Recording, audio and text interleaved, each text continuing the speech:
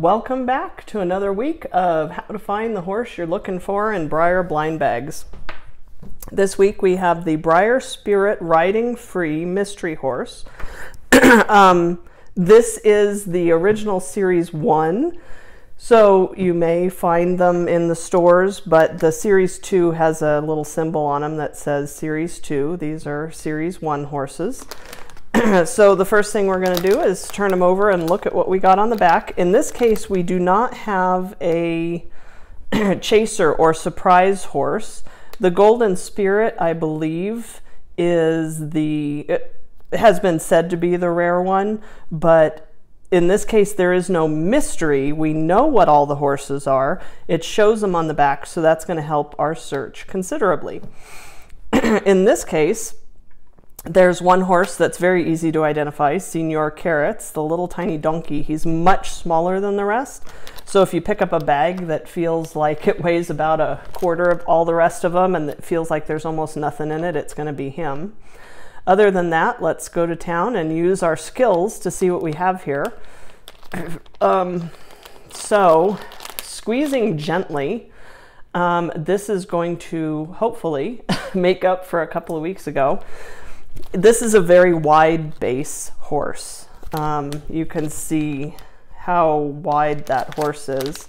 Um, this is going to be one set of legs. I'm going to follow the legs up to the body and then I'm going to follow out. So here is something and here is something else. So he's kind of oriented this way. So there's my body. I've got legs down here. This is definitely much longer. So this is a head and this is much shorter. This is a tail. So now I've oriented myself. I, I'm going to say this. In this case, I don't have any well, I do. This guy is pretty wide base. That Golden Spirit and Bubblegum, the Rainer, are my two wide based horses. Everybody else is fairly skinny and narrow based. Um, but let's follow through. So in this case, the leg is very skinny. Following it up to the body, the legs, the, the hooves are very close together. Here's two hooves on this side Here's two hooves on this side. So the hooves are all really close together. So I'm going to say it's not the spirit because the spirit is like, woo, all out there. um, very wide. Follow it back up to the body. This is pretty short and curly. Remember a couple of weeks ago, I was talking about the little short curly tail that the Rainer has. And in this case, the head is straight has a little feeling like a little mane, but definitely the mane is not sticking up. See our golden spirit, the mane is sticking up. So this horse is very base wide, short curly tail, no sticky uppy mane. It's it's gotta be bubblegum. Come on, let's see if it's bubblegum. It is bubblegum. So here we have that real base wide short and curly tail, straight on head with no mane up over the top. So there you have it. That's if you're looking for bubblegum, that's how to find him. Um, this looks like another very base wide one. Um, wow, this is weird. Oh, I see. so in this case, um, he, he, he's sitting on his back. His legs are here. Look at how far apart these legs are there. Um, again, very wide. Um, but in this case, the legs are, woo, all over the place. Follow it back down to the body. Identify a tail and a head. Again, I don't know which is which. Um, this, whatever it is that I'm feeling, is very um, kind of forks at the bottom. And if you look at the bottom of that golden spirit, his tail kind of forks out. So I'm going to say this is his tail. And when I come up to the head, the head is curved and has um, a sticky outy mane. So now I have very base wide legs splayed apart, opposite of him with the legs together. I have a longer tail that forks out and I've got a sticky outy mane. So head's down here, tails over here, legs are up. And let's see what we got. There we go. So see how that tail forks down there at the bottom? See how wide based he is, but they're all spraddled out and how he has that mane.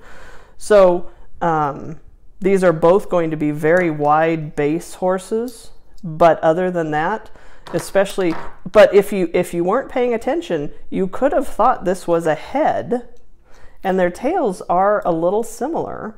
So, so make sure that you do the legs, body, tail, head, and mane because if, if you're feeling a blind bag, um, you could mislead yourself. I've done that myself. So these are all just trying to get across concepts so that you can apply them to any blind bag that you come across. so I have a narrow horse. He has legs that are very splattered, like very far apart. Here's one leg, here's one leg.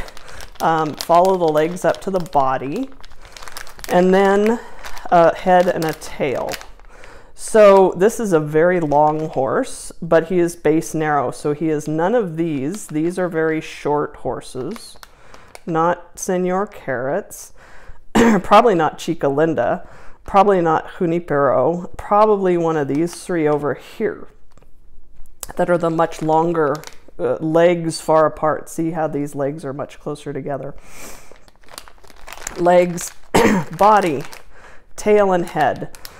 So, what is different about these guys? They all have tails that are sticking out.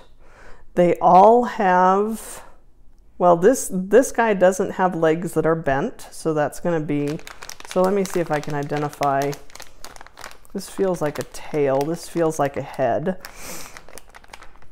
So the tail is fairly out. So this is one leg. It's pretty straight. So this leg, I'm going to say that his head is here. This leg is straight. I'm going to say this leg is curved. So it is not tomahawk because he has very straight legs in the front. And this leg is definitely bent.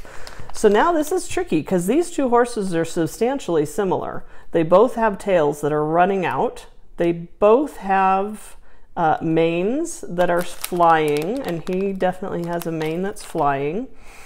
They both have a bent front leg.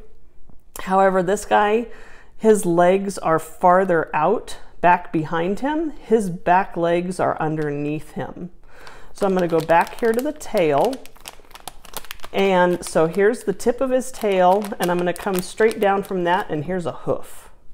So who does that look like? That looks like this guy. Here's the tip of his tail, and here's his hoof. This guy, the tip of his tail is way out behind him, and that leg comes straight down.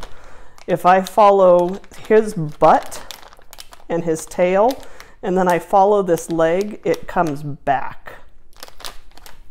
so there we go. We have a leg bent, a tail out, and a back leg. So let's see what we got. There we go. So this is that spirit.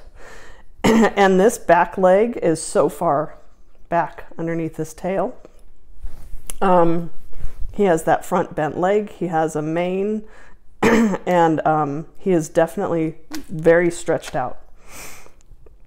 So again, use those principles. Feel the legs, feel the body, feel the head. Wide base, narrow base, or the legs bent. I'm having another moment. Um, but using these techniques, you can use them to look at the back of the box, see what you're looking for, and then hopefully you'll be able to find the horse that you are looking for. So go out there and find a blind bag and find a horse. Good luck.